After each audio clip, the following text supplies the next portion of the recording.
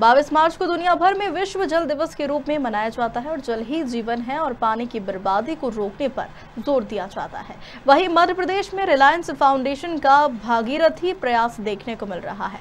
यहाँ कृषि समुदायों में जल प्रबंधन और शासन सुविधा प्रदान करने में रिलायंस फाउंडेशन ने सहायता की है। अब तक सात जिलों में समुदायों के जीवन को बेहतर बनाने में अहम भूमिका निभाई है। मध्य प्रदेश में साल 2011 से शुरू हुई रिलायंस फाउंडेशन के वाटर इंटरवेंशन कार्यक्रम ने राज्य में जल संचयन क्षमता को लगभग 400 लाख क्यूबिक मीटर और 770 गाँवों में पेयजल पहुँचाने की सुविधा में सुधार किया है।